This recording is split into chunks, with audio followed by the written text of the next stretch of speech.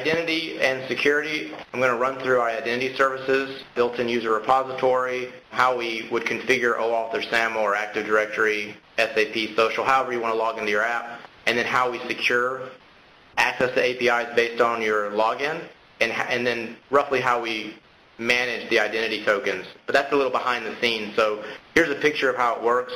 Mobile Fabric is in the middle, and we have an identity manager where you configure your identity services.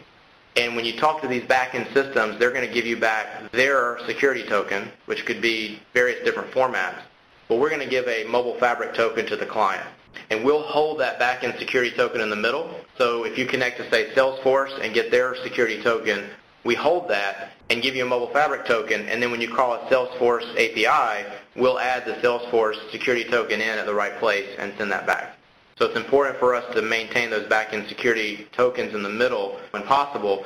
There is an API if you want to pull them onto the client, but you have to explicitly do that so you kind of know what you're doing from a security perspective. We want to add security to our news and weather app, and we're going to start by using the built-in user repository.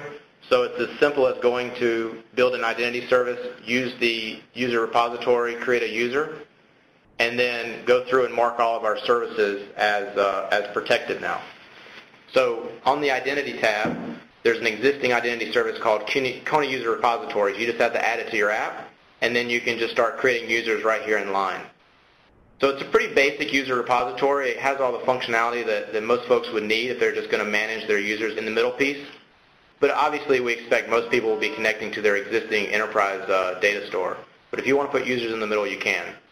Now, once we've added an identity service, we can move all of our services security uh, security level, and you're going to see this several times. But they're all marked as public before, which means we'll let anyone through. We're setting them all back to authenticated app user, which means you've got to authenticate with a user ID and password to get to these APIs now. Now it's no longer going to accept it from anybody. The other option there is anonymous app user, which means you're just coming from an app, but you didn't log in, which means you have to have at least the key and secret, but you don't have to actually authenticate with a user ID and password. So we set all of our APIs back to authenticated user, and we publish those changes to the runtime, and now we've secured all those APIs. And now only our specific app with the key and secret and a user that's successfully authenticated through that uh, identity service, which in this case was a user repository, will now be able to get to our data. All right, I'm going to show you one example of what this looks like in the code. But as you can see, we've put a login page on our news and weather app. We're going to log in as this uh, user at Kony.com, provide our password. We're going to invoke the login service exactly how we did the integration service. We use the SDK, we invoke login, we give the name of our identity, identity service, which was uh, user store, and it's just as simple as what you see. We updated our config file. But like I said, you, you call the, uh, you invoke the identity service just like an integration service. You send user ID password.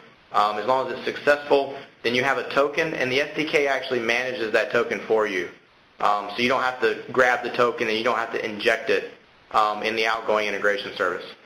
So right there what he's highlighting is getting an instance of the integration object and then invoking it in the background. And then there's a callback. That was actually the integration of the, the initialization of the SDK, and then we invoke login.